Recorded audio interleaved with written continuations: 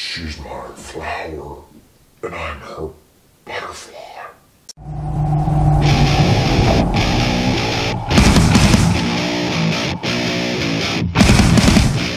Me and Earl and the Dying Girl stars Thomas Mann, Olivia Cooke, and is directed by Alfonso Gomez Rejon.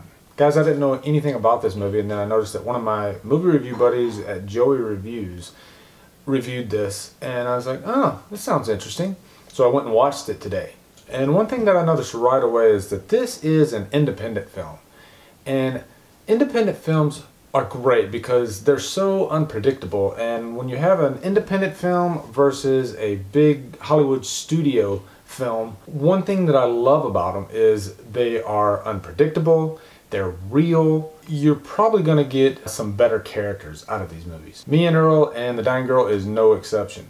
The first thing that grabbed me about this movie is the direction. The director, Alfonso Gomez Rejon, this guy is definitely going to be on my radar because he has a very signature, unique style of directing, and you can tell that he is a movie lover and he studies the craft and he likes older uh, movies from the 60s and 70s. And the main character, Greg, he is kind of a film connoisseur. He, he makes his own movies with his buddy Earl, and he changes the name up and he calls them horrible movies, but like Greg, the characters in this movie are so well done and so fleshed out and they feel so real. It feels like a documentary. As a sidebar, I watched a, uh, another independent film on Netflix uh, a while back called Short Term 12.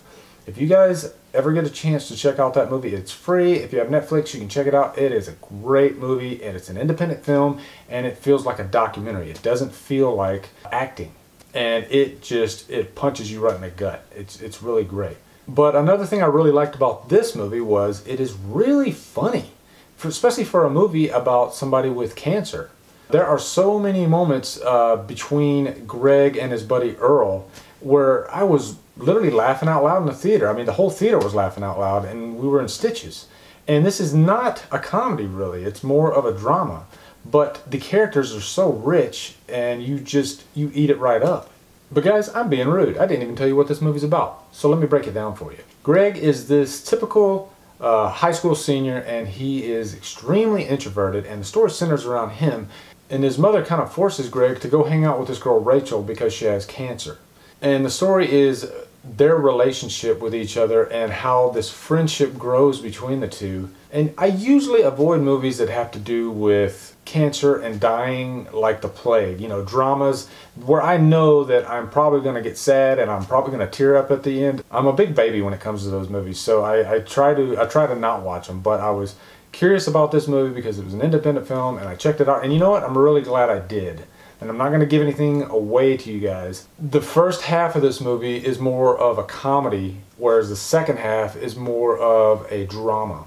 But it all blends together very well. And there are a lot of great side characters in this movie, uh, supporting actors like Nick Offerman, who plays Ron Swanson, the legendary Ron Swanson from Parks and Rec, and also Molly Shannon, who was on SNL for quite a few years.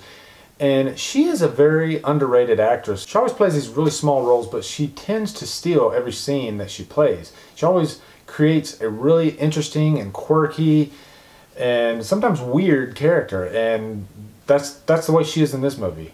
But one of the funniest characters in this movie is the guy who plays Earl, R.J. Cyler or Siler, however you say his name. He was hilarious in a lot of the scenes he's in, and he seemed so genuine. He doesn't seem like he's acting. And I promise you, you're going to be laughing out loud at a lot of the scenes that he's in.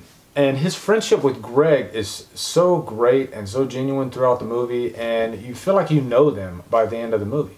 And there's also a really, really funny scene that involves drug use. I'm not advocating drugs or anything, but there's movies that have these scenes, and usually when the characters are on drugs and they're just so funny, like uh, Old School with Will Ferrell, you're crazy. I like you, but you're crazy. And then you got uh, Young Guns, the original Young Guns, when they're when they're tripping in the mountains. She's my flower, and I'm her butterfly. Did you see the size of that chicken? Well, this movie has one of those funny scenes too, and I about rolled out of my seat during it. It was really funny. And my question for you is what are some independent films that you like that maybe I haven't seen? There's so many great ones out there, and many of them go unnoticed. So anyway, guys, thanks for watching. Subscribe to my channel. Follow me on Facebook and Twitter, and rum dum out.